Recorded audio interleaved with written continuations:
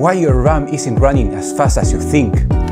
So you just bought DDR5 6000 and just plug it in your PC and it's only running at 4800 MHz. Just don't panic, that's totally normal.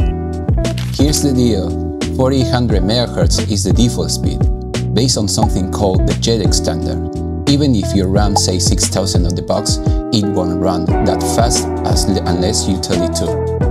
You need to go into your BIOS and turn on something called XMP if you're using the Intel, or EXPO if you're on AMD. That's how you unlock the actual advertised speed, but even then, it depends. Your motherboard and CPU have to support those speeds. If they don't, your system might crash, or just ignore the overclock. And here's a fun one. If you're using all 4 RAM sticks, you might not hit the full speed at all. That's how memory channel works.